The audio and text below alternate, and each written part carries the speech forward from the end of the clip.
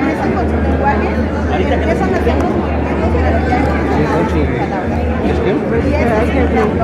movimientos, es que